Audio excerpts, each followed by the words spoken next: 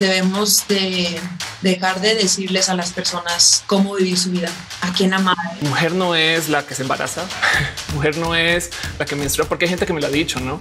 Este mujer no es la que tiene ciertos genitales em, y sobre todo encima de eso, mujer no es la que nació para casarse con un hombre, esas cosas, ¿no? Que no se trata esto de una moda, ni que está de moda, ni mucho menos. O sea, igualmente creo que es algo que el mundo necesita y necesitamos más inclusión, necesitamos equidad también. Soy aliada y siempre apoyo y para mí es muy importante hacer este tipo de conversaciones y crear más conciencia sobre el tema. ¿Qué, ¿Qué, herramientas podemos empezar a tener nosotros como voceros, como comunicadores, como artistas, como deportistas, eh, para empezar a, a hacer el cambio?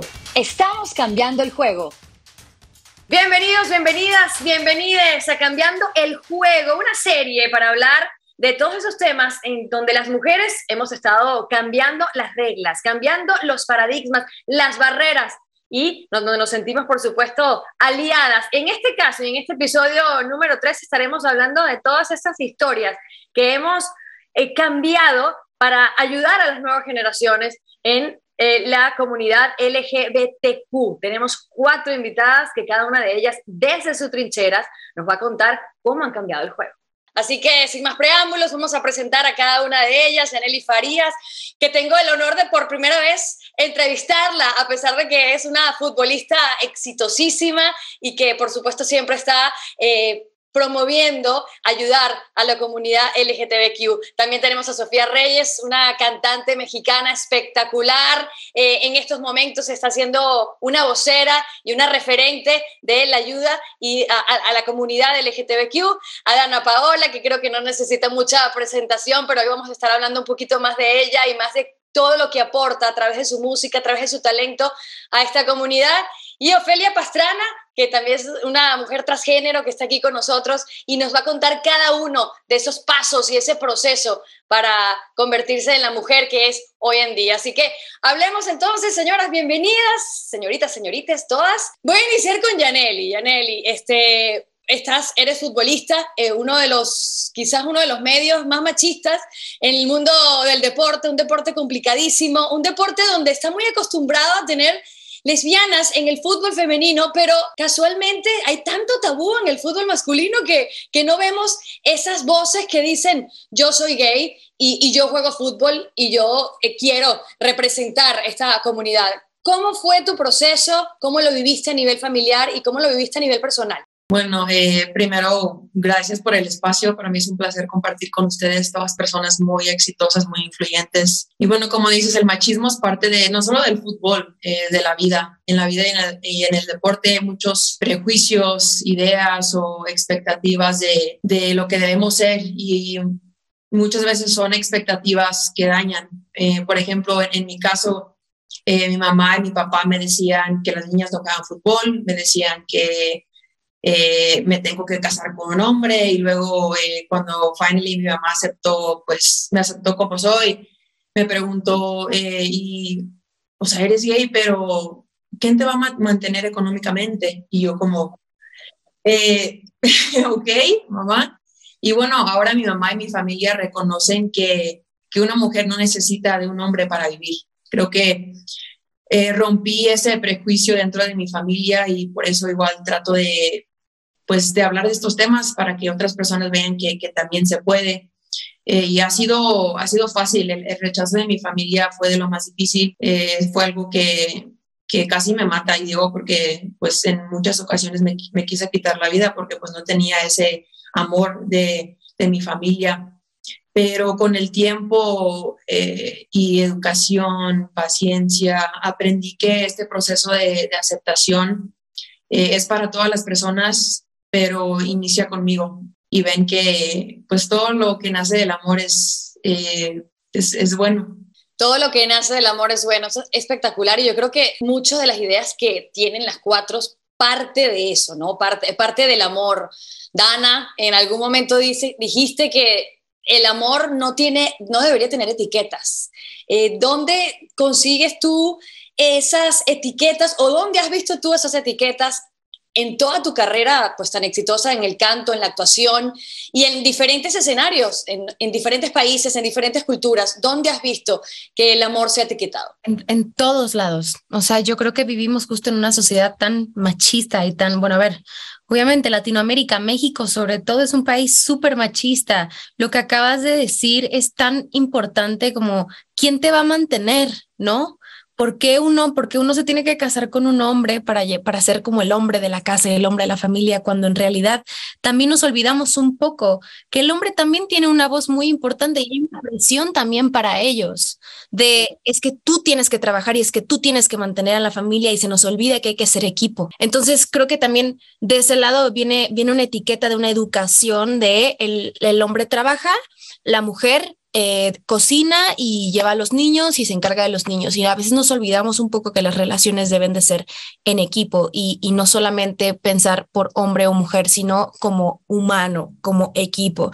Por supuesto, me hago cargo yo de, de, de muchas cosas en mi vida en donde no necesito un hombre. Si hoy en día elijo tener una pareja, en este caso mi novio, eh, nos apoyamos mutuamente, ¿no? Hay como una equidad eh, y no hay una etiqueta de él tiene que llevar la batuta en la casa o yo solamente, porque pues yo crecí en esta industria trabajando toda mi vida y yo he trabajado toda mi vida. Entonces ahora, hoy en día a mí me toca reeducar a mis padres con, en este caso mi papá sobre todo, porque pues es obvio que, que, que, venimos como de esta mentalidad machista y de antes y un poco más convencional y conservadora, pero yo me he encargado mucho a, a defender, a ser una aliada, por supuesto, de la comunidad pero sobre todo también a quitar un poco el machismo que también vengo arrastrando en mi familia por muchos años en esta industria, a través de mi música, en mis relaciones personales, por supuesto, y también entender el lugar que tengo yo como mujer eh, eh, han hablado muy orgánicamente de muchos conceptos que tiene la comunidad, ¿no? El amor, el respeto, la educación, reeducar, adaptarnos. Obviamente todos entran de, de, dentro de esta misma idea que, y, de, y de esta comunidad. Ofelia, hablamos del machismo, hablamos de que estamos acostumbradas a que el hombre eh, o nos criaron a que el hombre era el que tenía que traer el sustento a la casa y tú defiendes, eres referente del movimiento, eh, una mujer trans a, a, los 28 años. ¿Cómo fue para ti dejar de ser hombre y ahora ser mujer y la mujer lo que vive todavía del machismo? Yo no sé si era hombre antes, ¿sabes? O sea, okay. eh, este, y, y, fíjate que hasta me saltó un poquito la pregunta porque suele ser un poco el, no puede ser que lo que más importe de Ofelia es ser hombre, me explico, en vez de lo que ser, de lo que estoy haciendo como mujer, como que siento que también me gustaría eh, eh, tener presente que como mujer eh, mucho más se ha abierto en mi vida, mucho más se ha desarrollado y, y, y mi vida no puede estar marcada por explicar. Disculpa por pararme sobre esto, pero es no, que me no, lo piden mucho, no? Para Como, nada. como porque no quisiste ser hombre y es un poco que importa, no?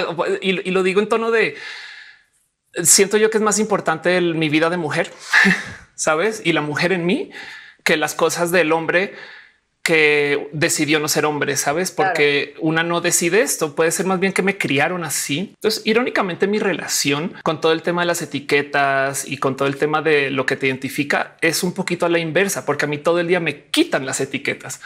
A mí nadie me, o bueno, no nadie, mucha gente no me quiere decir mujer. Mujer no es la que se embaraza, mujer no es la que menstrua, porque hay gente que me lo ha dicho, no?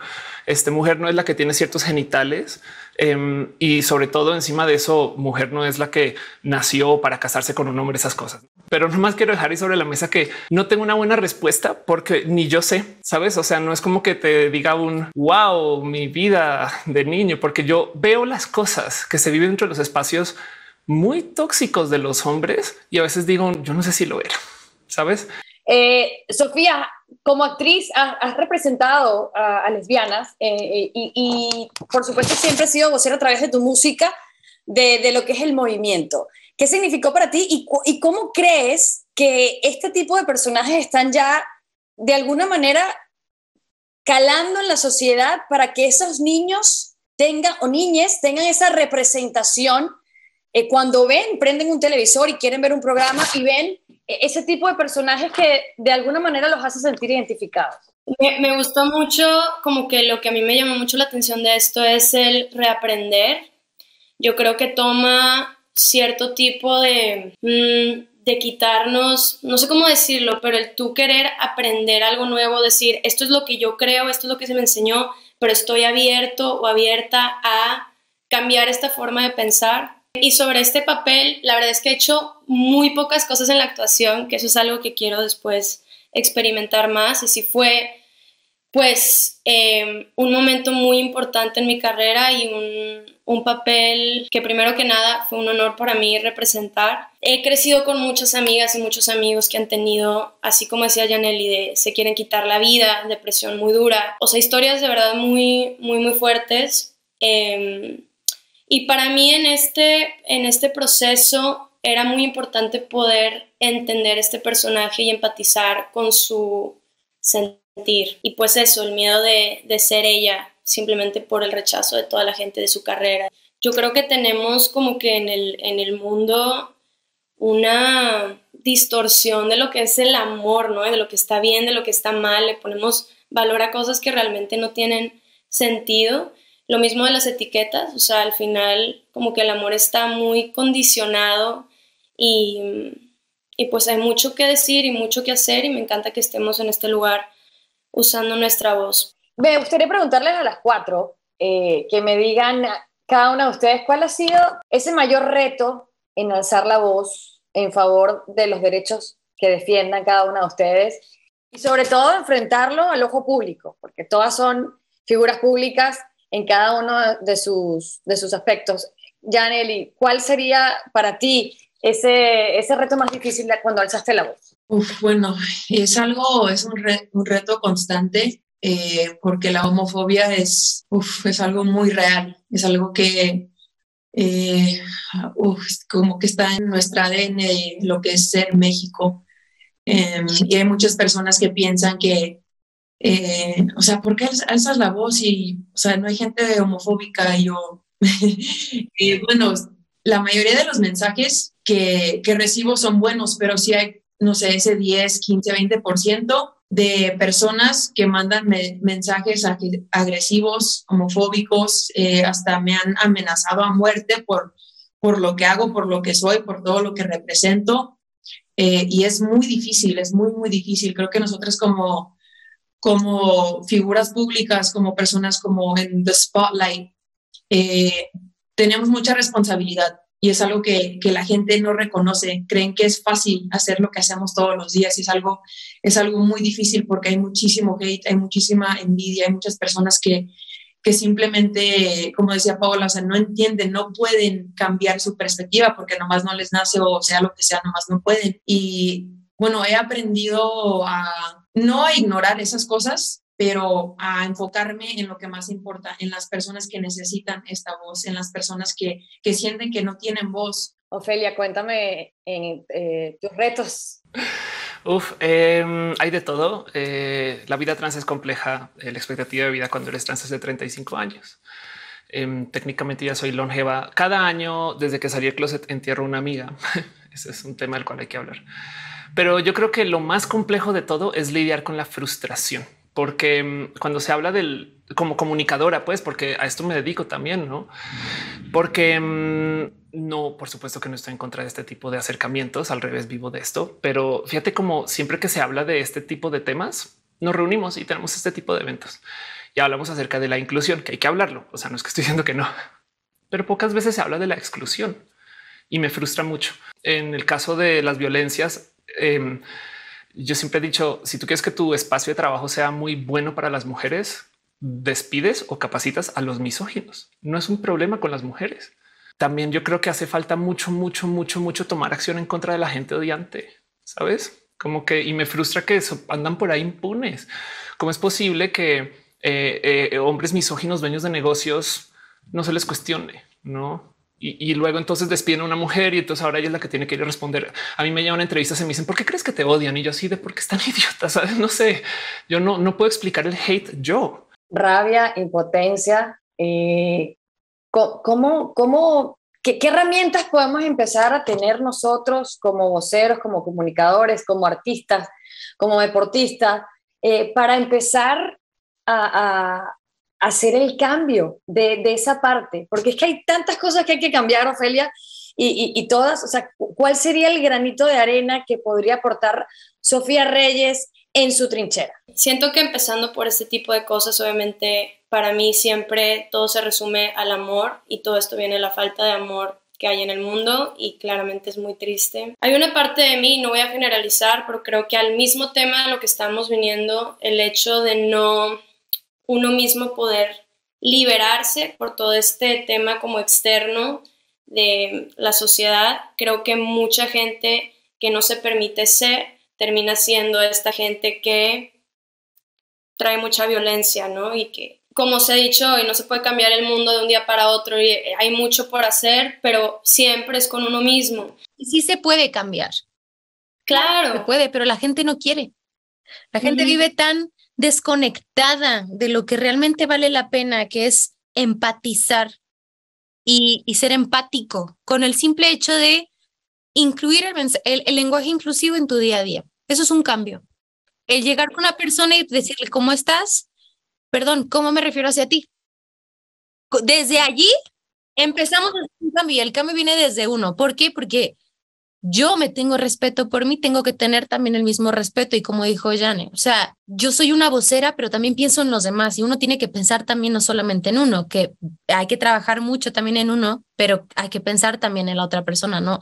No todos tenemos la capacidad de, de, de, cambiar el mundo de la noche a la mañana porque nadie es mago, pero sí empezamos con los pequeños movimientos y los pequeños granitos de arena. Y a veces, y a veces son quieren ser empáticos, pero por las mismas, creas, por las mismas creencias y por las mismas eh, reglas estipuladas por la sociedad, pues creen que, que, no están haciendo ningún error, ¿no?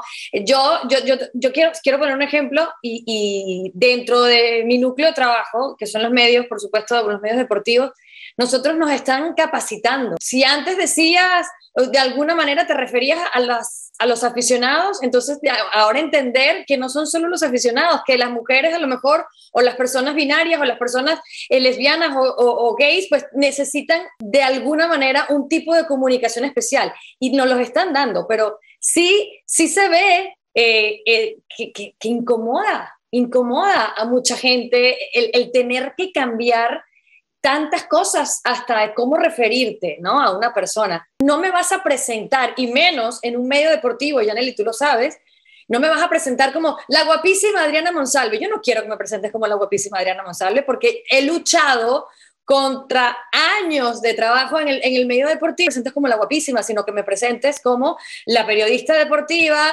eh, la que más sabe de fútbol, como me quieras presentar, pero en el nicho que yo me quiero desarrollar. Y creo que eso es tan difícil a veces de que la gente lo entienda. No sé cómo lo vives tú, Janely.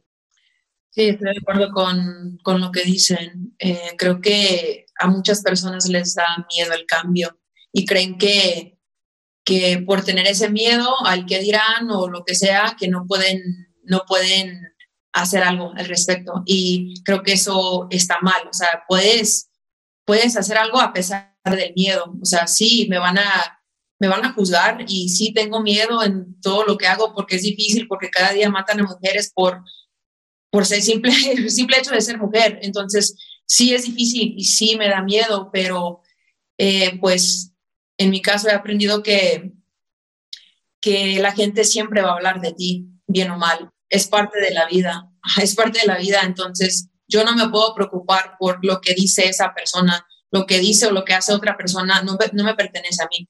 Lo único que me pertenece es, como dice Sofía, es trabajar en mí, eh, ser mejor persona para poder aportar algo, algo bueno al mundo. Ofelia, ¿qué se está haciendo para cambiar eh, este tipo de cosas de las que estamos hablando aquí y de las que no estamos hablando también, como la exclusión? Pues es que también eh, estamos haciendo mucho. Estamos acá reunidas varias personas que estamos en los medios, en la comunicación para hablar de todo esto.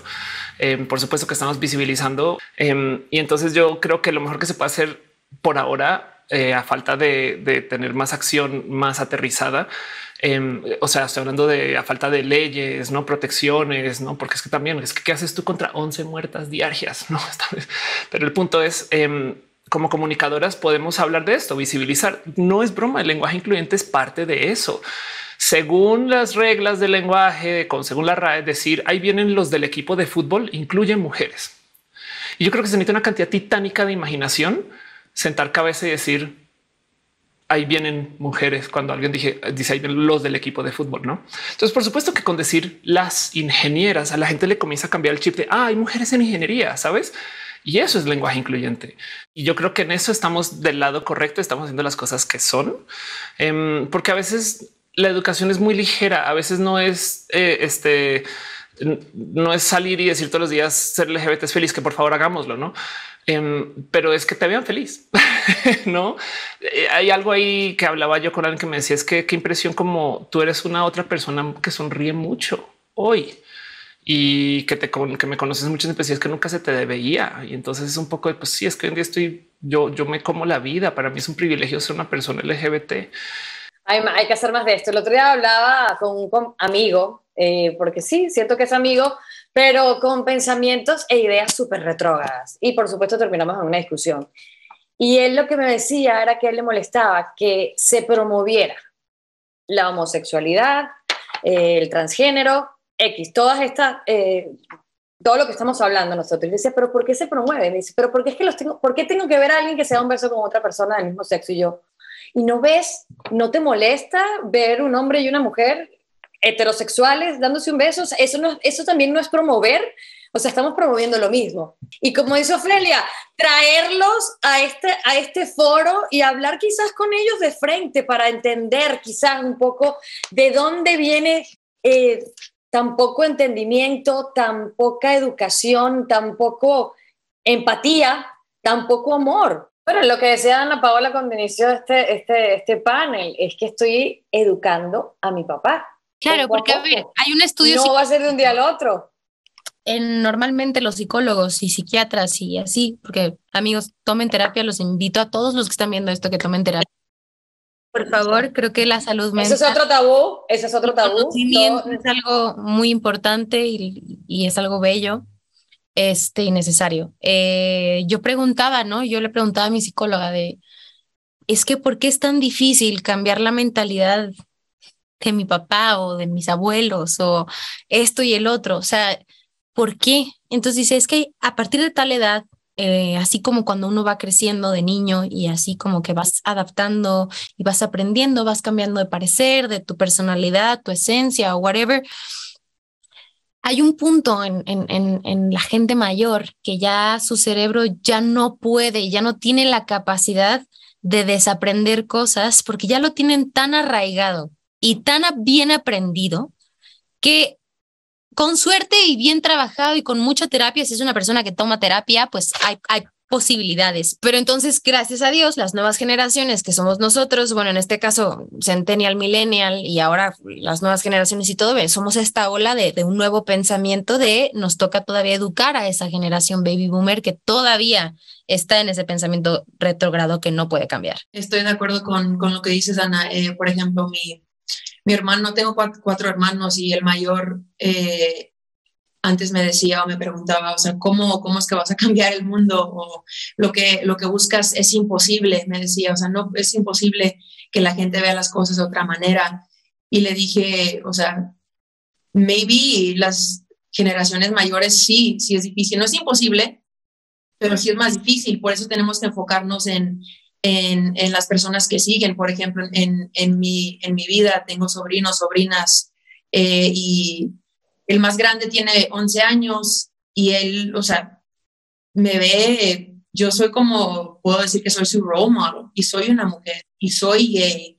Y él en ningún momento ha cuestionado mi ser. Entonces es importante pues enfocarnos más en eso. No digo que como dices tú, sabes, eh, ayuda, ayudaste a tu papá a educarlo, educarlo de otra manera. Em, y no es, no es imposible, pero sí es difícil. Eh, y bueno, podemos nosotras hacer algo para pues que las siguientes generaciones vean que esto es, es parte de la vida y es amor. Bueno, me gustaría terminar en un tono positivo, en un tono esperanzador, en un tono de que la realidad cada vez sea distinta y más a favor de la inclusión. Por eso le quisiera preguntar a cada una de ustedes una cosa que quisieran cambiar y que pudieran cambiar el juego por la inclusión en la comunidad LGBTQ. Está bien difícil esta punta, Yo creo que se resume a todo lo que hemos dicho. Para mí, el poder usar mis herramientas, o sea, mis redes sociales, con la gente que tengo aquí cercana, eh, con mis futuros hijos, como dicen mis sobrinos, la gente a mi alrededor, de poder yo simplemente sumar, ¿sabes? Expresar más amor, crear más conciencia sobre el tema y esa creo que es mi, mi forma de aportar algo positivo y de informarme más. De informarme más, creo que tengo mucho también que, que aprender y, listo. solo una cosa. Em, creo que pues para todas las personas es, este, debemos de dejar de decirles a las personas cómo vivir su vida, a quién amar. Eh, debemos dejar de presionar a las personas a hacer algo que no quieren ser. Eh, y en cambio, promover el amor en todas sus formas, eh, que la gente sea quien quiera y que haga lo que quiera con su vida mientras sean buenas personas. Invitar a la gente a que se informe. Creo que hay mucha ignorancia allá afuera eh, sobre el tema también. Justo creo que también aportar es informarte y es promover lo que sea que, puedas promover con tus capacidades. Y lo que dije hace rato, el lenguaje inclusivo, todos los días. Creo que es uno de los cambios más grandes que pueden también ayudar a que, a que todo mejore y a que las cosas avancen y progresen mucho. Y que cada vez que conozco a una persona no, no des por hecho eh, si es hombre o mujer, ¿no? Como que no se trata esto de una moda, ni que está de moda, ni mucho menos. O sea, igualmente creo que es algo que el mundo necesita y necesitamos más inclusión, necesitamos equidad también, dejar de presionar también por el amor de Dios a los hombres porque sean padres de familia y que mantengan y esto y dejarnos de presionar a las mujeres por casarnos y tener hijos. Eso no es nuestro tampoco nuestra, nuestro goal en la vida. Si tuviera una varita, una varita mágica y pudiera hacer un cambio, eh, ahí te van a poner este nerd dos segundos. Em, crear una cultura de curiosidad. ¿A dónde voy con esto? Vivimos en un mundo donde hay trasplantes de útero. De hecho, ya se está hablando acerca de la primera mujer trans que se va a embarazar vía este proceso. Em, vivimos en un mundo donde hay bebés que tienen tres fuentes genéticas que ya, cre ya está creciendo. O sea que sus genes tienen papá, mamá y mamá o mamá, mamá y mamá. Eso se puede. Si tuviera una varita mágica, me encantaría que la gente fuera curiosa.